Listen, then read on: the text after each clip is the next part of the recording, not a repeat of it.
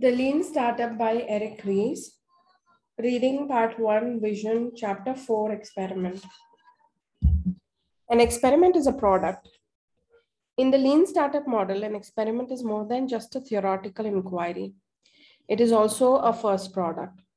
If this or any other experiment is successful, it allows the manager to get started with his or her campaign, enlisting early adopters, adding employees to each further experiment or iteration, and eventually starting to build a product. By the time that product is ready to be distributed widely, it will already have established customers. It will have solved real problems and offer detailed specification for what needs to be built. Unlike a traditional strategic planning or market research process, this specification will be rooted in feedback on what is working today rather than an anticipation of what might work tomorrow. To see this in action, consider an example from Kodak. Kodak's history is bound up with camera and film, but today it also operates a substantial online business called Kodak Gallery. Mark Cook is Kodak Gallery's vice president of products, and he is working to change Kodak Gallery's culture of development to embrace experimentation. Mark explained, traditionally, the product manager says, I just want this. In response, the engineer says, I'm going to build it. Instead, I try to push my team to first answer these four questions. Number one, do consumers recognize that they have the problem you are trying to solve? Number two, if there was a solution, would they buy it?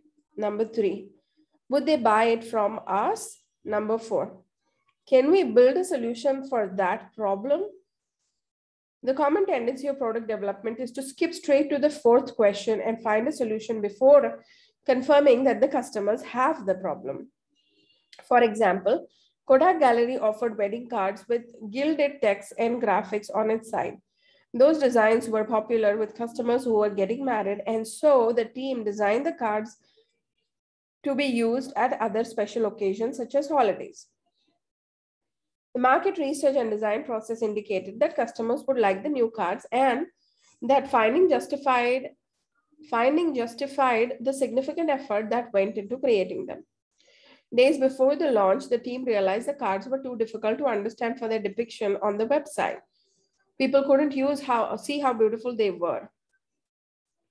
They were also hard to produce. Cook realized that they had done the work backwards.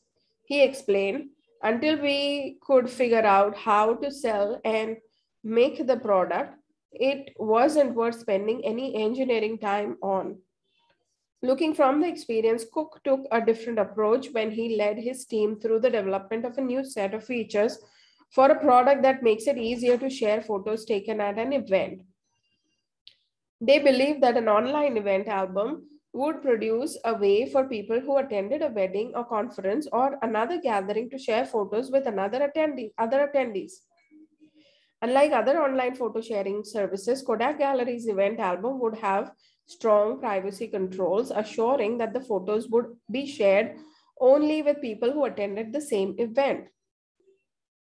In a break with the past, Cook led the group through a process of identifying risks and assumptions before building anything and then testing those assumptions experimentally. There are two hypotheses underlying the proposed event album. Number one, the team assumed that customers would want to create the albums in the first place. Number two, it assumed that event participants would upload photos to event albums created by friends and colleagues. The Kodak Gallery team built a simple prototype of the event album. It lacked many features, so many, in fact, that the team was reluctant to show it to customers. However, even at that early stage, allowing customers to use the prototype helped the team refute that hypothesis. First, creating an album was not as easy as the team had predicted. None of the early customers were able to create one. Further, customers complained that the early product version lacked essential features.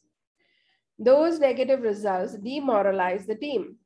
The usability problems frustrated them as did customer complaints about missing features, many of which match the original roadmap. Cook explained that even though the product was missing features, the project was not a failure.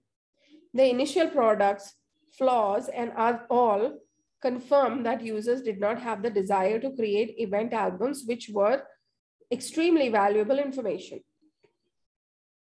Where customers complained about missing features, this suggested that the team was right on team was on the right track. The team now had early evidence that those features were in fact important. What about features that were on the roadmap, but the customers didn't complain about? Maybe those features weren't as important as they initially seemed. Through a beta launch, the team continued to learn and iterate. While the early users were enthusiastic and the number were promising, the team made a major discovery.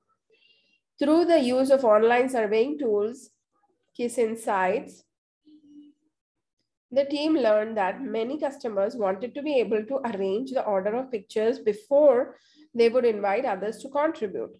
Knowing they weren't ready to launch, Cook held, held off his division's general manager by explaining how iterating and experimenting before beginning the marketing campaign would yield far better results.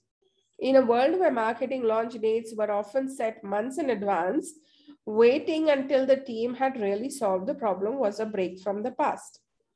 This process represented a dramatic change for Kodak Gallery employees were used to being measured on their progress at completing tasks.